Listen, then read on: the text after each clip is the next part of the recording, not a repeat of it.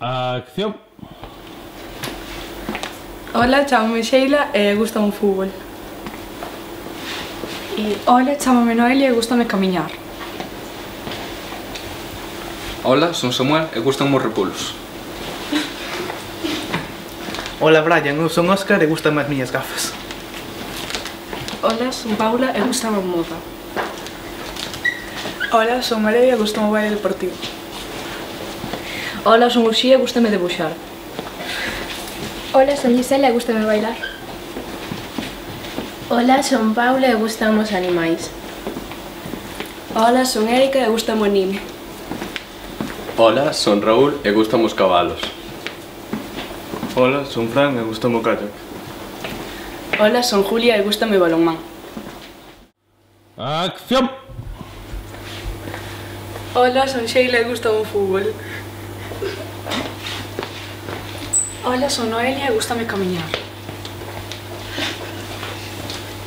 Hola, son Samuel e gustan as mazás. Eh, boas, son Óscar e sígueme gustando as miñas gafas. Hola, son Paula e gustame a moda. Hola, son Marei e gustame bailar.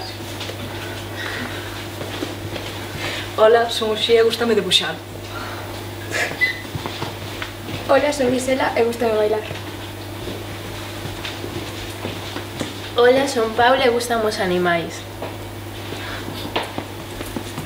Hola, soy Erika y gustan los libros. Hola, soy Fran y gusta el kayak. Hola, soy Raúl y gustan los caballos. Hola, son Julia e gustame o balonmán. Moi ben. Acción.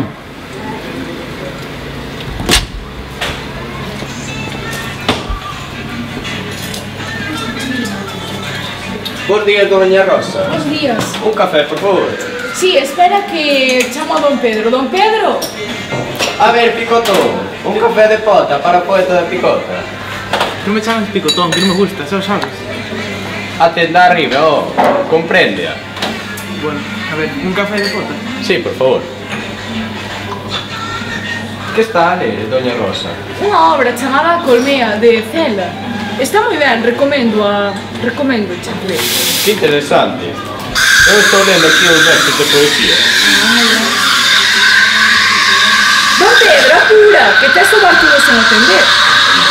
Podría matar un pouco, non crees?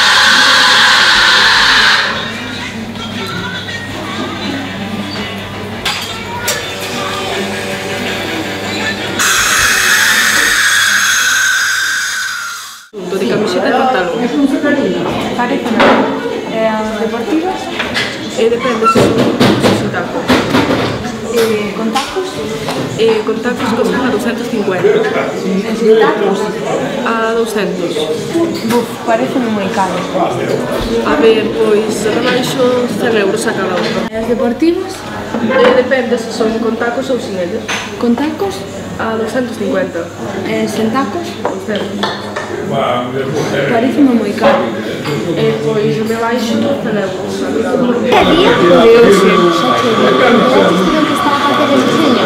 No me parece normal. A mí tampouco, sobre todo o importante que está hoxe, día o maltrato animal é que, en fin, é que o que está a facer é xa non é maltrato, xa se pasa. Hai outras maneiras de matar a fame nos países que matar animais. É solo por conseguir diñeiro, que é o peor. Sí, sí, hay que hacer algo. estaban pensando que queríamos hacer eh, una empresa eh, a medias donde cultiváramos productos que no tenían que ver nada con los animales, eh, así como competente. Sí, pues la verdad es que es una muy gran idea, pero tenemos que tener cuidado porque hay mucho oído abierto. Sí, aquí las paredes se escoitan. Bastante. Facemos que estamos aí, cada museo, tal, vale? Sobre todo esta zona, esa mesa de aí, a acción. Quedou malo día, non? Sí, pode ser decir. Sí. A ver, vamos vamos a falar do divorcio. Luís, por que sempre me tens que sacar a mesma conversación? A ver, a ver pa... sabes que é difícil para min? Por que me sempre me tens que sacar a mesma? Non entendo. Por algo quedamos aquí. Non che importará a ti, porque a ti non che importa nada. É que nunca che importou nada. Mira, non ci importa. Sabes o que din de ti? Mira, vou calar. Ah, moitas festas a todo. Ahora, ahora mesmo. Ahora, ahora mesmo. Vale, stop. Non pasa nada. Está moi guai. Mira, non fai ni... Mira. Non fai ni sequera falta que che diga nada, vendo como nos mira esta xente. Non se está mirando, ti estás dando conta. Pero a ver... Pero ti miras un pouquinho a tu alrededor. A veces. no, no, tranquilízate. Estamos falando calmadamente. Non estamos... Luis, É que sempre faço o mismo. que fago? Que fago eu, Luis? Que fago eu? Eso, eso. Stop. Ese que fago. Fago. Me salto. ¿Qué, ¿Qué fago? fago? Ahí, A ver. ahí. Espera. 3, 2, 1. Grabando acción. A ver, que fago? Que fago eu? Dime que fago, ahora digo. Pero a ver, non estás vendo, estás berrando, estás muy mal. Cálmate. Pero a ver. No, respira fondo, tranquilízate, a ver. Non hai por que enfadarse. Vamos falar as cousas tranquilamente, porque senón... Mira, Luís, co que eu sei non podemos estar tranquilamente ti máis eu aquí falando, vale? Estamos falando polo que estamos falando, pero non podemos estar... A mí parece non ah. que Que de verdad, sempre están discutindo, podían, non sei por qué. Podían divorciarse dunha vez a marchar deste pueblo. Ese fijo que lle puso os cornos con unha das que está por aquí por vale. Ándase dicindo por aí que estivo coa camareira. É que ela, ela ten unha cara de puta que, que queda para atrás, eh, en serio. É un home que non se entera de nada, por favor. É que el ten pinta un pouco de gay, a verdade, eh. É que... é fijo que está co poeta ou algo así por estilo que tamén... Pode ser, o poeta ese... Ah. Acción!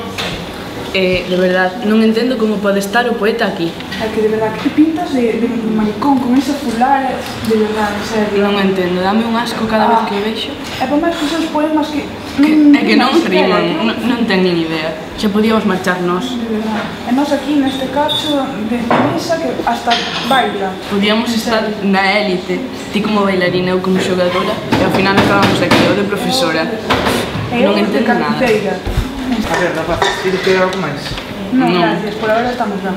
A ver, non, Xa bastante caro está. A comais habrá que coller. Espera que isto no. costa moito. Mellor, fago unha rebaixa. Non, e ademais no. está demasiado quente, para o meu gusto. A ver, nun bar hai que vir a consumir. Xa, xa estamos consumindo, pero ainda non acabamos. Por favor, deixanos acabar isto, que está quente. Eh, e despois pediremos outra cousa. Perdón, perdón. Gracias. Vamos. Cámara grabando. Hai que falar alto e acción. En este bar están todos locos. Están peor que mi abuela, aquella vez que se quiso tirar el campanario porque su marido le puso los cuernos con una vieja del pueblo. Unos se quieren divorciar, otros son unas viejas cotillas del pueblo, unos hablan de negocios que parecen estar todos locos. En este bar están todos locos. Están peor que mi abuela, aquella vez que se quiso tirar del campanario porque su marido le puso los cuernos con la vieja del pueblo. Unos se quieren divorciar y pegan gritos que que necesitan un psiquiatra. Unas son unas viejas de pueblo aburridas. Otros hablan de negocios que parece que están todos locos con sus precios. Otros apuestan que esto no es un, un sitio de póker. Eh, están todos mal de la cabeza. Grabando e acción. Cada vez me están dando más trabajo. No saben que yo tengo una vida. Estos del editorial van a acabar Bos días, rapaza. Está ocupada a silla? No, no, no. Podes sentarme? Moitas gracias. Eh, que está dibuixando? An indio. Oh, increíble. A mí encanta a poesía. se quere incluso podo buscarlle uns versos para recitarlle Sí, mira, vou buscar aquí neste libro Mira, vou de recitar o cativo. E aquí xaz un homiño soterrado No fondo dunha espelunca. A mañá está fora. Proir non o verán nunca. Gustoulle? A min encántame. Quere que invita a tomar algo? Don Pedro, Pódenos poñer algo por aquí, por favor? O que? Pois mira, a mí vas me poñer unha, unha cervexa. Unha cervexa? Mm, Coca-Cola, please. Unha Coca-Cola? E unha cervexa. Nada máis? Non, moitas grazas, picotón. Ai, Dios. Xa sabes que non me gusta que me chamen así. Veña, home. questo? Sì, picotò. Con alcune che costume ponendo. Cámara grabando. Acción. Che fa, Rosso? Nada, lendo. Como que lendo? Estás na hora de traballo? Dame igual. Estou lendo un un beso. Beso que estás lendo, non traballando. Bueno, para eso estás ti, non me tolees. Vai atender a xente. O bar dos dous. Ai, Pedro, non me tolees, en serio. Como? Nunca me levas a ningún sitio. Mira os veciños, foron a París, e nós a mí que me levas, ver a París de noia. Para ir a París hai que traballar, e ti non o faz. Ai, Pedro. Como que hai, Pedro? Queres vir a sudar un pouco? Non. Do... E eh, acción! Que tal os teus negocios? pois bastante ben. Abrín agora unha tienda no Pino. Mira, ao lado do teu estadio. Sí, xa o vin ali o outro día. Se queres podo che vender fruta. Estaría interesante. Eh, que fruta vendes? A que che guste. Bueno, para, pois para os xogadores estaría mellor mazáns, plátanos, frutas comúns. Si, sí, interesanche uns fumes de naranxa que o fago caseiros. Tamén, a canto vendes o litro? O litro a 0,60. 10 kilos? Sí, eh, gustaríamos 10 kilos. Entón que se ofrece, como dixemos, os plátanos a un 60 e as mazás a un 20. Vale, e os zumos? Ou como se dixen a 300. Vale, pois gustame o prezo. Eh, non sei. Eh, poderías vir ata o estadio? A levar a frutas? Sí, e a repartir aos xogadores nos descansos. Estaría ben. Deixade de mirarnos, eh?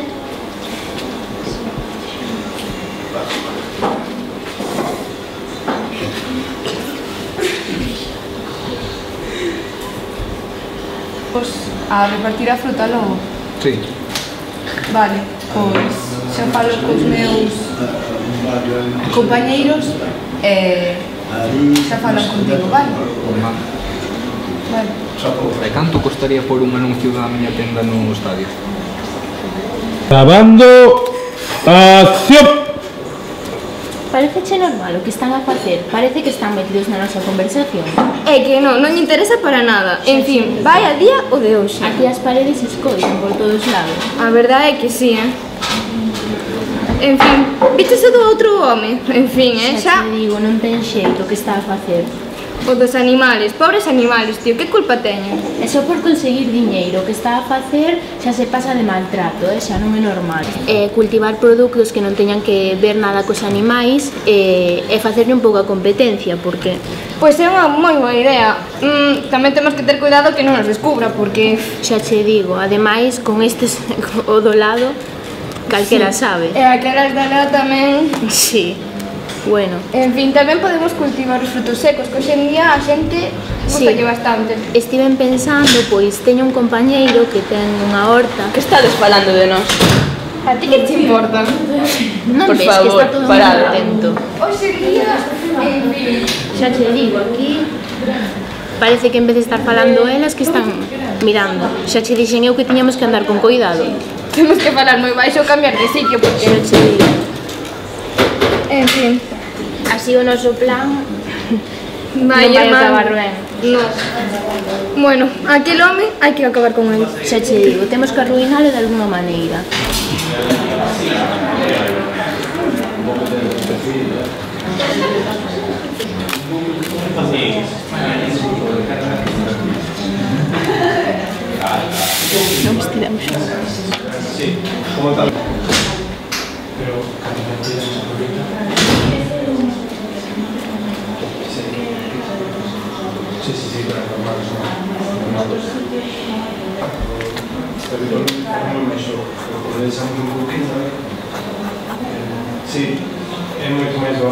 ¡Fracción! E de quién é seu libro? Pois mira, é un libro de Celso Emilio Ferreiro, un autor galego que me gusta moito. É moi famoso. Sí, e coñéceno bastante pola terra. Pero só o primeiro... Pero, pero aquí non fa máis que saltar fichas, non? Se está interrompendo? Sí, é que vamos, estou escutando desde ali, eh, piropo por aquí, piropo por alá... Bueno, Nada. solo é unha pequena amiga. Eh, que le diña, xuventudes? Podíala deixar un pouquinho, non? Por favor, calmadevos todos. Que No, parece que estamos Contádenos como vos coñecetes. Pero ti tamén? Sí. Home. Se ao final... Pois como nos coñecemos? Pois aquí, neste mesmo bar. De verdade, ti non tes parado, eh? Bueno, a miña vida. Claro, sempre, por aí eu de verdade. Así é que non encontras moza. Veña, que vos deixamos solos. Ala, chao. Non digo. Esta xente da hora, non hai que non entende. Mm. En vez, en vez de a igrexa, mira o que fa. Ai, gente moi estúpida. Bueno, se quere, recito yo outro verso. Eh, este mesmo. Titúlase Epitafio Posible.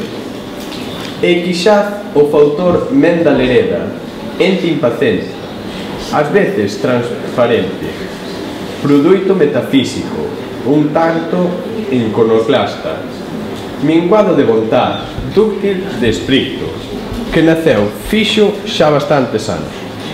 Como ve estas palabras do galego tan enrevesadas... Un, po, un poquito complicadas, entender. Compréndoche, compréndoche. Mira as tipas esas. Hai que mirar non se poden perder nada. Seguro que xa están falando de nós. Estaban falando de nós, escutei novo. Ti escuitas solamente o que te interesa tamén, non? Pero a ver... Escuitaches o que estaban dicindo de ti, verdad? Claro, pero... Porque me dá moita curiosidade o que digan as persoas aquí. Moita, uh? Podes deixar o puñeto así? Eh, de que forma? Poñerme de que forma? Non sei. Estou te falando como a persona normal de... Falta que te casaches comigo. É que xa non quero decir malas palabras. Non, non sei, non sei.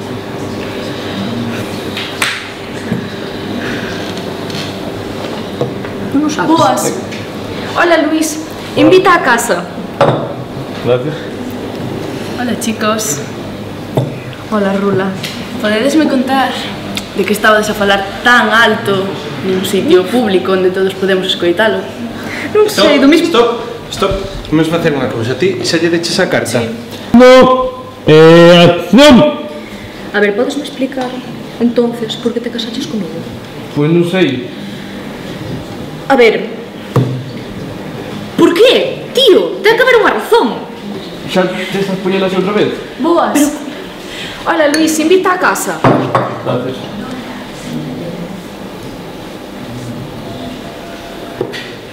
Moi privada a conta, non? Sí. Que la para non, non sabemos nós o que tomamos. Que ten o que ter ti solo. Non sei. Pois, non sei. O mellor é que hai algo que non me dixeras. Tal vez, eh, tan, hai tantas cousas que non me dis que xa non sei a conta. A Se tens que decir, estamos aquí. Estamos aquí para falar do divorcio. Claro. Bueno, pues vamos. Pero non me podes contar a túa vida. No, non, non sei. Non cambies de tema. Eh, parece un poquinho hipócrita que me veñas a decir agora que non cambiei de tema. Vale, dime que che aí. A conta? Si, sí, a conta. A conta moi privada, non, eu non sei o que tomei, verdad? Sí, Que caballero te fixaches agora para querer pagar ti a conta Por toda, favor, chicos.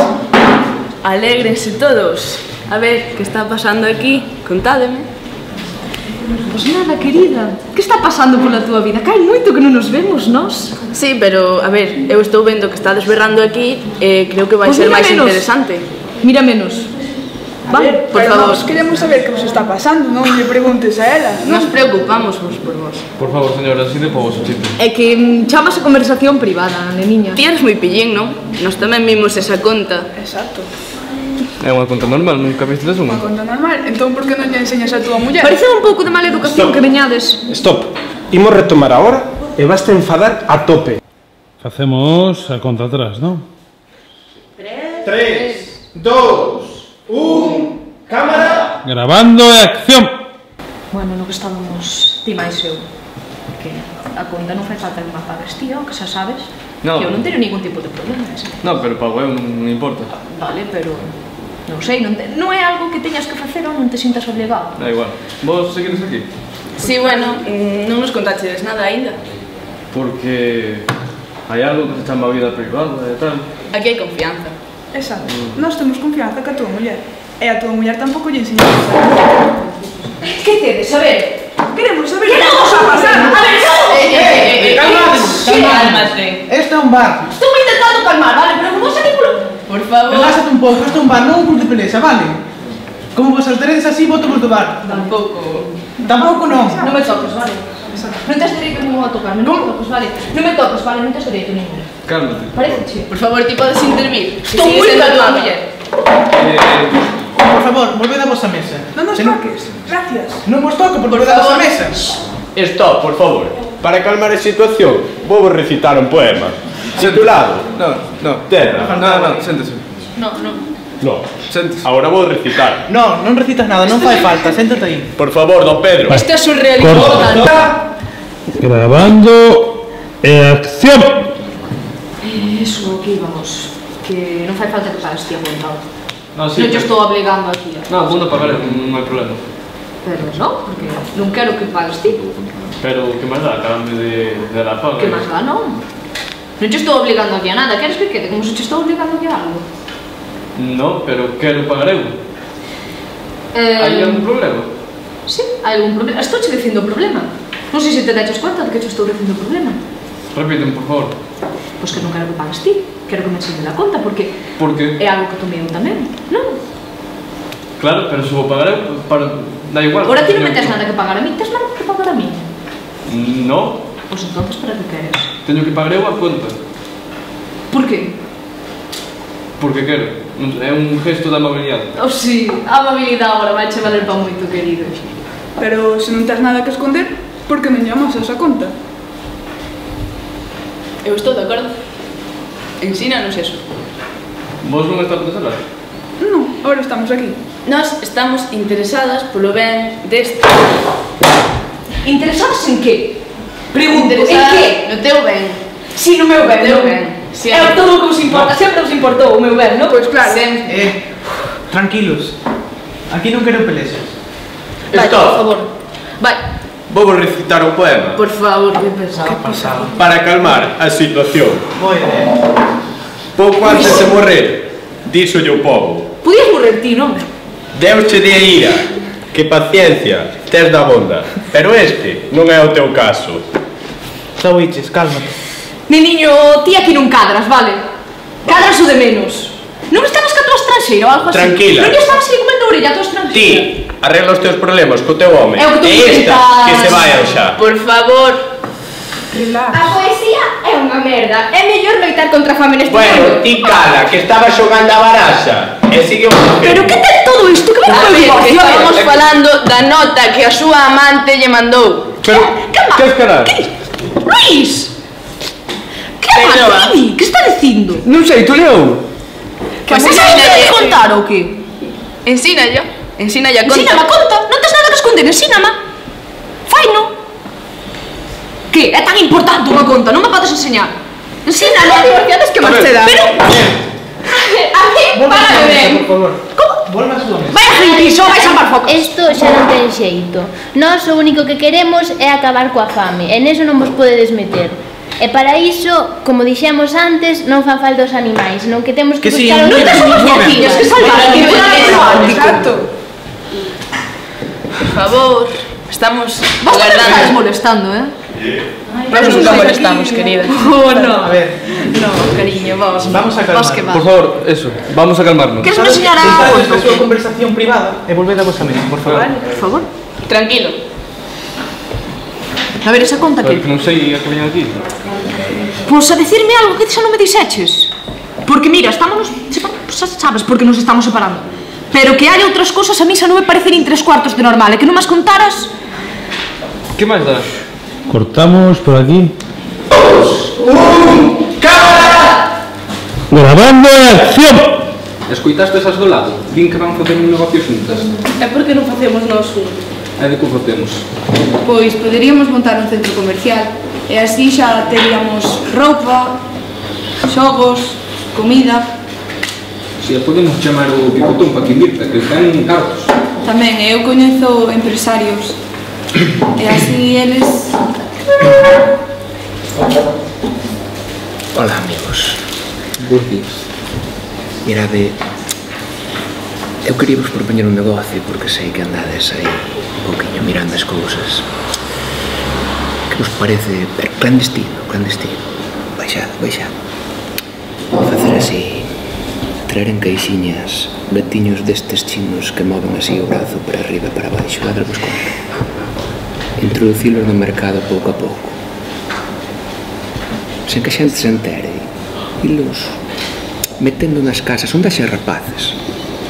Creo que pode funcionar, que vos parece? Podes vendelo no teu campo de fútbol?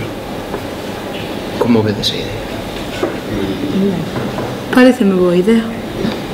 E o gato canto costa? Os gatos veñen en caixas. O precio é o de menos.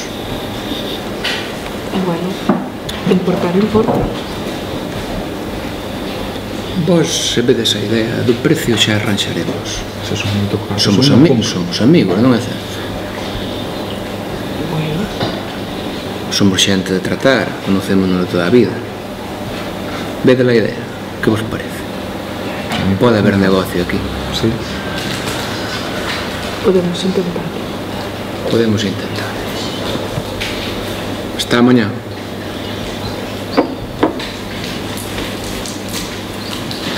Que é eso de traficar con gatos? Que falou de gatos? Vos A mí non coitaste me de- tomades, eh? eu sinto. Vos coitaste de Raúl? No. A que sí que escoitamos o de gatos. Vamos escoitar dende ali. Non somos tontas. Que vos parece que no século que estamos agora andamos con esas tonterías ou que? Que eso, de menos de tres anos ou por estilo. E a vos que vos importa o que nos... Como que nos importa? Somos veterinarias e nosos gatos importanos moito. Aquí o único que se ve é que os grandes empresarios estades o que estades, sempre a gañar diñeiro. E eso non é así, eh? Porque hoxe en día... Que pasa hoxe en día? Os animales hai que son como personas, hai que cuidalos, non traficar con eles. É só para conseguir diñeiro, iso é unha pena o que estades a facer, eh? Non ten xeito. O meu gato era miau miau. Para mí non me eu non son empresario. Ti foches o da idea, así que silencio. Eu non son empresario. Eu pasaba non por aquí. Non empresario, pero ti foches o da idea. Seguro que era para levarte a maior parte, ainda por riba. Así que... Andade con cuidado, porque Bueno, ben. Sí, don Pedro, podes vir aquí. Aí, aí, aí, xa. Todos xuntos. Tres, dos, un, cámara! Grabando e acción. Que tal, Rosa? Ai, Pedro, ti ves como tes o bar? Que escándalo. Non deixas estar, oh. Estamos aquí, nos aquí, solos. Xa sabes, podemos pasar un tempo ali en París, como ti queres. Sí, a ver cando. Estiven a Forrande podemos ir cando queiras. Veño, dime algo. Ai, Pedro, teño que che contar algo. Que fixeste iso? Eu non quixen, pero... É que Non me preocupes, oh, contamo xa. a min, Pedro, a min gusta o teu amigo Luís. Como? Somos amantes. Como que che gusta Luís? Este de ali? Sí. Pero se está casado. Xa sei. Luís! Ven aquí, Luís! Ai, Pedro, non te pegues. Como que non te pegues? Pero ven aquí, Luís, que, que te vas? Stop, stop, stop! E acción. Boa, Rosa, que faz? Nada, lendo. Ti ves como tes o bar, Pedro? Pois, como sempre, non? Ti ves que escándalo agora? Xa fun calmados, pasa algo. Veño, facemos algo. Eu estive aforrando un pouco, e xa que me xeches iso de París, podemos ir. Non sei, Pedro. Non, dime algo. É que teño que che contar algo. O que? Teño unha dunha maneira que me preocupa, é verdad. Teño que che contar a verdade. Que fixeches? Co teu amigo Luís. Sí, que lle pasa? Está ali? Sou muller? Pois somos amantes. Como que sodes amantes? Sí, Pedro, Desde cando? desde hai moito. Como desde hai moito? Non quixen, Pedro, en serio. Pero Como que non quixeches? Luis, ven aquí. Pedro, cálmate. Como que me calme? Eh, que pasou? Como que vai pasar? porque está salindo que a miña muller. Tranquilo, Pedro. No, pero... Tranquilo. Como que tranquilo? Como que es que me tranquilice? Temos lo que contar, Luis. No, pues, non... Non que? Dime, pede unha explicación porque non entendo nada. É que che vou ter cara unha malleira, isto non ten outra cousa, joder, é que non sei. Ah, podemos arreglar de outra maneira. De que maneira? Falando. Falando? Ven aquí, ven aquí, vou charlar eu a ti as cousas. Tranquilo, tranquilos. Tranquilos. Como que? Non ten tanta culpa. Tampouco. Mira, sabes que? É verdad. El tamén está casado. Fomos, a culpa foi dos dous. Pero non... Xa non está casado, eh? Xa non está casado.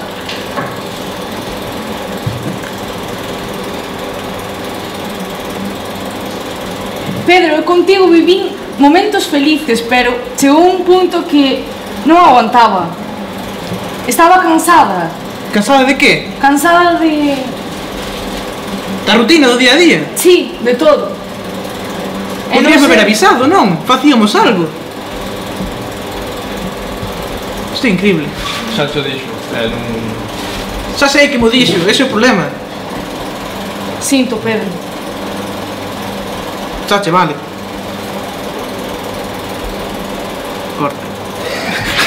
Muy ben, aguantamos aí. Veña, que probablemente sexa a última vez que o fagamos. 3, 2, 1, cámara. Grabando e acción. A ver, Pedriño, que che pasa, oh? Como é pasar? Non sei, dime, contame, que para iso estou aquí. Miña muller. Que lle pasa? Estaba me engañando como mellor amigo. En serio? Non pode ser. Como a que Doña Rosa... Pois ao parecer non era tanto. E ti que pensas disto? Pois non sei que vou facer. Non sei se cerrar o bar ou marchar. Que queres facer coa túa vida? Gustache ser camareiro? Taberneiro? A mí encántame, pero non sei, este sitio recórdame. Entón, que pensas facer? Que queres facer da túa vida? Non o sei. E se viaxas por aí, coñeces nova xente, isto pode ser unha boa, unha boa idea, cambiar de aires. Pues, podría ser, a verdad. Gustache, eu que sei, Asia, podes viaxar por Asia. Ali seguro que eres alto e todo. Estaría ben. Sí, Sempre eh, quixen ir a Asia. Pois, toma como unha lección vital. Ir a Asia e disfrutar da vida. Pois tens razón, por que non? Moitas gracias. Sabes que? A esta invita a casa, todos a bailar. Vamos,